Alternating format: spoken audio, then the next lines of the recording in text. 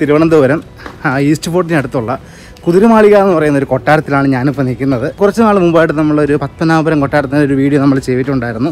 ഏകദേശം അതിനോട് രൂപ സാദൃശ്യമുള്ളൊരു കൊട്ടാരമാണ് ഈ കുതിരമാളിക എന്ന് പറയുന്ന ഒരു കൊട്ടാരം. ഏകദേശം നൂറ്റി ഇരുപത്തിരണ്ട് കുതിരകളുടെ ഒരു രൂപം ഇതിന്റെ ഉത്തരത്തിൽ കൊത്തി വെച്ചിരിക്കുന്നത് കൊണ്ടാണ് ഇതിന്റെ കുതിരമാളിക എന്ന് വിളിക്കപ്പെടുന്നതെന്ന് പറയപ്പെടുന്നുണ്ട്. അപ്പോൾ ഇതിന്റെ മറ്റൊരു പേരാണ് പുത്തൻ മാളിക. പൗരാണികമായിട്ടുള്ള കുറച്ച് കാഴ്ചകളും കുറച്ച് വിശേഷങ്ങളുമാണ് നിങ്ങൾ ഈ ഒരു എപ്പിസോഡിലായിട്ട് കാണാനായിട്ട് പോകുന്നത്. റഫ് ബുക്കിന്റെ എക്സ്പ്ലോറിംഗ് ട്രിവാൻഡ്രം സീരീസിന്റെ മറ്റൊരു എപ്പിസോഡിലേക്ക് എല്ലാവർക്കും സ്വാഗതം. തിരുവനന്തപുരം പത്മനാഭ സ്വാമി ക്ഷേത്രത്തിന്റെ തെക്ക് കിഴക്ക് ഭാഗത്ത് പത്മതീർത്ഥ കുളത്തിന് സമീപമായി സ്വാതി തിരുനാൾ രാമവർമ്മ ആയിരത്തി എണ്ണൂറ്റി നാൽപ്പതുകളിൽ പണി കഴിപ്പിച്ച രണ്ട് നിലകളുള്ള ഒരു കൊട്ടാരമാണ് തിരുവിതാംകൂർ വാസ്തുവിദ്യാ ശൈലിയുടെ മാതൃകയായ കുതിരമാളിക എന്ന പുത്തൻ മാളിക സ്വാതി തിരുനാൾ പാലസ് എന്നൊരു പേര് കൂടിയുണ്ട് ഈ മാളികയ്ക്ക്. നമ്മളിപ്പോൾ ടിക്കറ്റ് എടുത്തു. അഡൾട്ടിന് വന്നിട്ട് നമുക്ക് രണ്ട് ടിക്കറ്റാണ് നമുക്ക് ചാർജ് ചെയ്യുന്നത്. മൊത്തം എൺപത് രൂപയാണ്. ഒന്ന് ശ്രീ ഉത്രാടം തിരുനാൾ മാർത്താണ്ഡവർമ്മ ചിത്രാലയം എന്ന് പറയുന്ന ഒരു പ്രിൻസിലേക്ക് കയറാനുള്ള ടിക്കറ്റും ഉണ്ട്. പിന്നെ അത് കഴിഞ്ഞിട്ട് നമ്മുടെ കുതിര മാളികയിലേക്ക് കയറുന്നതിനായിട്ട് പാലസ് മ്യൂസിയത്തിലേക്ക് കയറുന്നതിനായിട്ടുള്ള ടിക്കറ്റുമാണ് അതിന് അൻപത് രൂപയാണ് ചാർജ് അങ്ങനെ അൻപത് മുപ്പതും എൺപത് രൂപയാണ് അഡൾട്ടിന് ചാർജ് വരുന്നത്. ഇതിന്റെ സമയം എന്ന് പറഞ്ഞാൽ രാവിലെ ഒൻപത് മണി മുതൽ ഉച്ചയ്ക്ക് പന്ത്രണ്ടര വരെയും ഉച്ചയ്ക്ക് ശേഷം രണ്ട് മണി മുതൽ നാല് നാൽപ്പത്തഞ്ച് വരെയാണ്. ഇതുപോലുള്ള ചെറിയൊരു ഇടവഴി കയറിയാണ് അകത്തേക്ക് നമുക്ക് പോകാനുള്ളത്. വെൽക്കം ബോർഡൊക്കെ ഇവിടെ അവർ എഴുതി വെച്ചിട്ടുണ്ട്. കുതിരമാളികയുടെ വടക്കു ഭാഗത്തു കൂടിയാണ് പ്രവേശന കവാടമുള്ളത്. കരകൗശലത്തിന്റെ അതുല്യമായ ഉദാഹരണമാണ് നിങ്ങൾ തിരുവനന്തപുരത്ത് കാണാൻ ആഗ്രഹിക്കുന്നത് എങ്കിൽ കുതിരമാളിക പാലസ് മ്യൂസിയം സന്ദർശിക്കുക. കൊട്ടാരത്തിനുള്ളിൽ പാദരക്ഷകൾ അനുവദനീയമല്ല. ഫോട്ടോഗ്രാഫിയും വീഡിയോഗ്രാഫിയും അനുവദനീയമല്ല. എന്നിരുന്നാലും അൻപത് രൂപ നിരക്കിൽ പുറത്തും പരിസരത്തും മൊബൈൽ ഫോട്ടോഗ്രാഫിക്ക് അനുവാദമുണ്ട്. കൊട്ടാരത്തിന്റെ സവിശേഷതകളും കാഴ്ചകളുടെ മഹത്വവും നമ്മെ അമ്പരിപ്പിക്കുന്ന വിശേഷങ്ങളും രാജകുടുംബത്തിന്റെ രീതികളും മനസ്സിലാക്കുവാൻ പ്രാദേശിക ഗൈഡുമാരിൽ ഒരാളുമായി ഈ കൊട്ടാരത്തിലൂടെ ക്ഷമയോടെ നടക്കുക. കൊട്ടാരത്തിലെ തണുത്ത നിലത്തുകൂടി നഗ്നപാതരായുള്ള നടത്തം മനസ്സിനും ശരീരത്തിനും കുളിർമയും ഉന്മേഷവും നൽകുന്നു. ആ ഉന്മേഷത്തോടെയുള്ള കാഴ്ചകൾ മനോഹരവുമാണ്. കൊട്ടാരത്തിനുള്ളിൽ ഒളിഞ്ഞിരിക്കുന്ന നിരവധി അത്ഭുതങ്ങളെക്കുറിച്ച് അവർ നിങ്ങൾക്ക് വിശദമായി വിവരിക്കുന്നു. ഈ മഹത്തായ കൊട്ടാരത്തിന്റെ നിഗൂഢമായ മനോഹാരിത നിങ്ങളെ ആകർഷിക്കുകയും ആവേശഭരിതരാക്കുകയും ചെയ്യും. തലസ്ഥാനത്തിനുള്ളിൽ മറഞ്ഞിരിക്കുന്ന ഈ മാളിക സംസ്ഥാനത്തിന്റെ മറ്റൊരു യുഗത്തിലേക്ക് നമ്മെ കൂട്ടിക്കൊണ്ടുപോകും. ആയിരത്തി എണ്ണൂറ്റി നാൽപ്പത്തി ഒന്നിൽ പണി ആരംഭിച്ച കൊട്ടാരം ദിവസവും അയ്യായിരം തൊഴിലാളികളെ കൊണ്ട് നാല് വർഷം അതായത് ആയിരത്തി എണ്ണൂറ്റി നാൽപ്പത്തി അഞ്ചിലാണ് പൂർത്തിയായത്. ഏകദേശം ഇരുപത്തിരണ്ട് ഏക്കറിലായാണ് ഈ കൊട്ടാര സമുച്ചയം നിലകൊള്ളുന്നത്. പുത്തൻമാളിക കൊട്ടാരം ഇപ്പോഴും രാജകുടുംബാംഗങ്ങളുടെ മേൽനോട്ടത്തിലാണ്. കുതിരമാളികയിലെ ഓരോ മുറിയും മേൽക്കൂരയും വ്യത്യസ്തമായ ഓരോ രീതിയിലാണ് രൂപകൽപ്പന ചെയ്തിരിക്കുന്നത്. ഇരുന്നൂറ് വർഷത്തിലേറെ പഴക്കമുള്ള വ്യത്യസ്ത രൂപത്തിലെ പരമ്പരാഗത കലാരൂപങ്ങൾ തേക്കിന്റെ തടിയിൽ നിർമ്മിച്ചിരിക്കുന്നതായും കാണാനാകും. ഇതിനുപയോഗിച്ചിരിക്കുന്ന നിറങ്ങൾ പച്ചക്കറികളിൽ നിന്നും എടുത്തവയാണ്. ഈ നിറങ്ങൾ ഇത്രയും വർഷം ഒരു മങ്ങലും കൂടാതെ തിളക്കത്തോടെ നിൽക്കുന്നത് ഒരത്ഭുതമായി തോന്നി. ഇറ്റലിയിൽ നിന്നും കൊണ്ടുവന്ന ഭീമാകാരമായ കണ്ണാടികൾ ചുമരിൽ ഘടിപ്പിച്ചിരിക്കുന്നു. ഇതിനു പുറകിൽ മെർക്കുറിക്ക് പകരം ഉപയോഗിച്ചിരിക്കുന്നത് വെള്ളിയാണ് എന്നതാണ് ഇരുന്നൂറ് വർഷം പഴക്കമുള്ള ഈ വലിയ കണ്ണാടിയുടെ പ്രത്യേകത. ഗജമുകളിൽ രാജാവ് യാത്ര ചെയ്യുന്നതിന് ഉപയോഗിച്ചിരുന്ന അമ്പാരികളും റാണി യാത്ര ചെയ്യാൻ ഉപയോഗിച്ചിരുന്ന നാലു പേർ ചുമക്കുന്ന പല്ലക്കും ആകർഷണങ്ങളായ കാഴ്ചകൾ തന്നെയാണ്. ബെൽജിയത്തിൽ നിന്നും കൊണ്ടുവന്ന മേൽക്കൂരയിൽ തൂക്കിയിരിക്കുന്ന തീനാളത്തിൽ പ്രകാശിക്കുന്ന കൂറ്റൻ സ്ഫടിക വിളക്ക് ഇപ്പോൾ പ്രവർത്തിക്കുന്നത് വൈദ്യുതിയിലാണ്. പതിനാല് പതിനെട്ട് എന്നീ നൂറ്റാണ്ടുകളിൽ ഇംഗ്ലണ്ട് ചൈന ജപ്പാൻ ജർമ്മനി എന്നീ ഭാഗത്തു നിന്നും കൊണ്ടുവന്ന സംഭരണ പാത്രം കണ്ണാടിക്കൂടുകളിൽ വച്ചിരിക്കുന്നു. രാജാവിന്റെ കുട്ടികൾക്ക് കിടക്കുവാനായി ഐവറിയിൽ തീർത്ത തൊട്ടിലുകൾ കരകൗശല രൂപകൽപ്പനയിൽ ധനികം. രാജാവ് ഉപയോഗിച്ചിരുന്ന രണ്ട് സിംഹാസനങ്ങൾ എടുത്തു പറയേണ്ടവയും അവ കാണേണ്ട കാഴ്ചയുമാണ്. ഇരുപത്തിയഞ്ച് ആനകളുടെ കൊമ്പുകൾ ഉപയോഗിച്ചുകൊണ്ട് നിർമ്മിച്ച ദന്തസിംഹാസനം. സിംഹാസനത്തിന്റെ ഇരുവശങ്ങളിലും സ്ഥാപിച്ചിരിക്കുന്ന കണ്ണാടികളിൽ കൂടി സിംഹാസനത്തിന്റെ പുറകുവശം കാണുമ്പോൾ കൊത്തുപണികളാൽ സമ്പന്നമായി കാണാം. ചെക്കോസ്ലോവാക്കിയയിൽ നിന്നും കൊണ്ടുവന്ന രാജാവ് ഉപയോഗിച്ചിരുന്ന സ്ഫടിക സിംഹാസനവും കാണേണ്ട മറ്റൊരു കാഴ്ച തന്നെയാണ്. ശ്രീ വിശാഖം തിരുനാൾ മഹാരാജാവ് ജീവകാരുണ്യ പ്രവർത്തനങ്ങൾ ചെയ്യുന്നതിൽ അതീവ തൽപരനായിരുന്നു. അതിനായി അദ്ദേഹം അദ്ദേഹത്തിന്റെ തൂക്കത്തോളം വരുന്ന സ്വർണ നാണയങ്ങൾ തുലാസിൽ അളന്ന് ജനങ്ങൾക്ക് വേണ്ടി ചിലവഴിച്ചിരുന്നതായി പറയപ്പെടുന്നു. അതിന്റെ ചുമർ ചിത്രങ്ങൾ നമുക്കിവിടെ കാണുവാൻ സാധിക്കും. കൊട്ടാരത്തിലെ മേൽക്കൂരകളെല്ലാം തടികളാണെങ്കിലും ഒരു മുറിയിൽ മാത്രം മേൽക്കൂര നിർമ്മിച്ചിരിക്കുന്നത് കണ്ണാടിയിലാണ്. ആകർഷകമായി തോന്നിയ മറ്റൊരു കാഴ്ച തിരുവിതാംകൂറിന്റെ അവസാന രാജാവായിരുന്ന ശ്രീ ചിത്ര തിരുനാൾ ബാലരാമവർമ്മ മഹാരാജാവിന്റെ ജീവൻ തുടിക്കുന്ന ത്രീ ഡി ചിത്രമാണ്. മുറിയുടെ ഏത് കോണിൽ നിന്നും നോക്കിയാലും അദ്ദേഹം നമ്മെ ഉറ്റുനോക്കുന്നതായും അദ്ദേഹത്തിന്റെ ഷൂസ് നമ്മുടെ നേർക്ക് നിൽക്കുന്നതായും തോന്നും. ആ വിധമാണ് ചിത്രത്തിന്റെ വരകൾ. തിരുവിതാംകൂർ സൈന്യത്തിന്റെ ആയുധങ്ങളും ആയിരത്തി എഴുന്നൂറ്റി നാൽപ്പത്തി ഒന്ന് കുളച്ചിൽ യുദ്ധത്തിൽ ഡച്ചുകാരുടെ കയ്യിൽ നിന്ന് പിടിച്ചെടുത്ത കൂറ്റൻ തോക്കും ഇവിടെ കാഴ്ചക്കായി വച്ചിരിക്കുന്നു. കൂടാതെ രാജാവിന്റെ വായനാമുറി ഐവറിയിൽ തീർത്ത ഔഷധ ഗുണമുള്ള തടിയിൽ തീർത്ത രാജാവിന്റെ കട്ടിൽ. എടുത്തു പറയേണ്ട മറ്റൊന്നാണ് രാജാവിന്റെ ധ്യാനമുറി. ഈ ചെറിയ ധ്യാനമുറിയിൽ നിന്നും നോക്കിയാൽ പത്മനാഭസ്വാമി ക്ഷേത്രം കാണുവാൻ സാധിക്കും. മാത്രമല്ല ഒരു പ്രത്യേക ദിശയിൽ നോക്കിയാൽ അമ്പലത്തിന്റെ കൊടിമരവും കാണുവാൻ സാധിക്കും. ഉത്സവ സമയങ്ങളിൽ ഈ ധ്യാനമുറിയിൽ നിന്നും കൊടിമരത്തിലേക്ക് നോക്കി കൊടിയേറി എന്ന് ഉറപ്പിച്ചതിന് ശേഷമാണ് ധ്യാനമുറിയോട് ചേർന്നുള്ള തുരങ്കപ്പാത വഴി രാജാവ് ക്ഷേത്രത്തിലേക്ക് പോയിരുന്നത്. ആ തുരങ്കപ്പാതയും ഇവിടെ കാണുവാൻ സാധിക്കും. മാത്രമല്ല സംസ്കൃതം മലയാളം ഹിന്ദുസ്ഥാനി തെലുങ്ക് കന്നഡ എന്നീ അഞ്ച് ഭാഷകളിലായി കർണാടക ഹിന്ദുസ്ഥാനി സംഗീതത്തിൽ നാനൂറിലധികം രചനകൾ രചിച്ച വ്യക്തിയാണ് ശ്രീ സ്വാതി തിരുനാൾ മഹാരാജാവ്.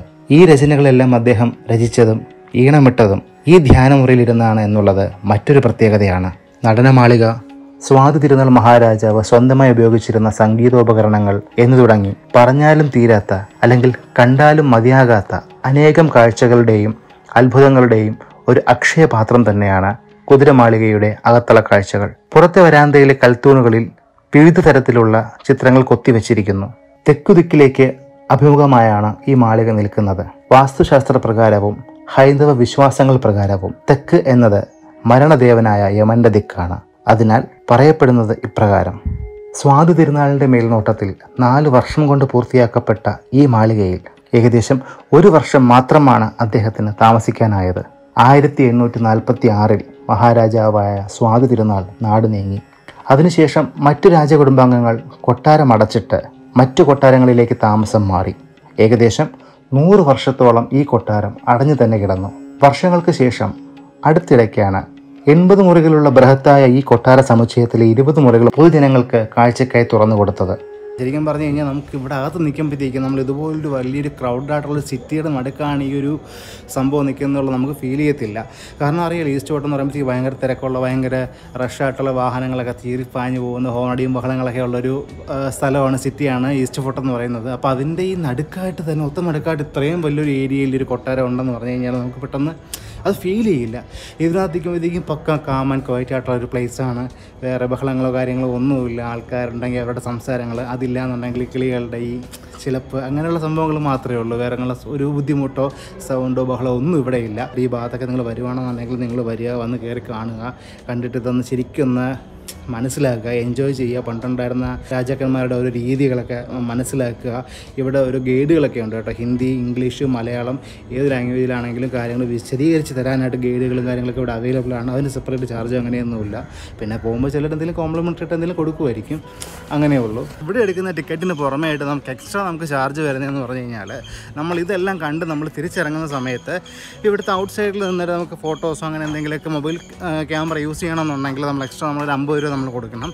ആ ഒരു ചാർജുണ്ട് പിന്നീട് പുറത്തിവിടെ ചെരുപ്പ് സൂക്ഷിക്കുന്നതിന് ഒരു രൂപയുടെ ഒരു ചെറിയൊരു എമൗണ്ടും കൊടുക്കണം. അത്രയേ ഉള്ളൂ ഇവിടുത്തെ ടിക്കറ്റിന് പുറമേ വരുന്ന എക്സ്ട്രാ ചാർജ് ആയിട്ടുള്ളത്. ഈ കൊട്ടാരത്തിന്റെ പരിസരത്ത് തന്നെ ചിത്രാലയവും സ്ഥിതി ചെയ്യുന്നു. തിരുവിതാംകൂർ ചരിത്രത്തിലെ ഒട്ടേറെ പ്രാധാന്യമുള്ള അമൂല്യ നിമിഷങ്ങളും പുറം ലോകം അറിയാത്തതുമായ അനേക മുഹൂർത്തങ്ങളുടെയും വിശേഷങ്ങളുടെയും ഫോട്ടോകൾ ഈ ചിത്രാലയത്തിൽ കാണാവുന്നതാണ്. ഹിസ് ഹൈനസ് ഉത്രാടം തിരുനാൾ മാർത്താണ്ഡവർമ്മ ചിത്രാലയ മ്യൂസിയത്തിലേക്കുള്ള വഴിയാണത് ഇത്. അപ്പോൾ ഇതാണ് അവന്റെ എൻട്രൻസ്. ഇങ്ങോട്ട് കയറുമ്പോഴത്തേക്ക് ഇവിടെ സ്റ്റെപ്പും ഉണ്ട്. എനിക്ക് തോന്നുന്നത് വീൽ ചെയറിനൊക്കെ ഇറങ്ങാൻ വേണ്ടിയിട്ടായിരിക്കും ഈ ഒരു സംഭവം കൊടുത്തിരിക്കുന്നത്. പലകയിലുള്ള ഒരു ചെറിയൊരു സ്ലോപ്പാണ്. വിജനമായ ഒരു ഹോളാണ്. ആരുമില്ല. ഇത് കുറച്ചുണ്ട് കേട്ടോ. ഉള്ളിലേക്കുള്ളൊരു സ്പേസാണ്. അവിടെ നിന്ന് നമ്മൾ നടന്നിങ്ങ് വന്നിട്ട് അത് ഇവിടുന്ന് വീണ്ടും ഒരു സ്റ്റെപ്പ് കയറി വേണം നമുക്ക് അങ്ങോട്ട് പോകാനായിട്ട്.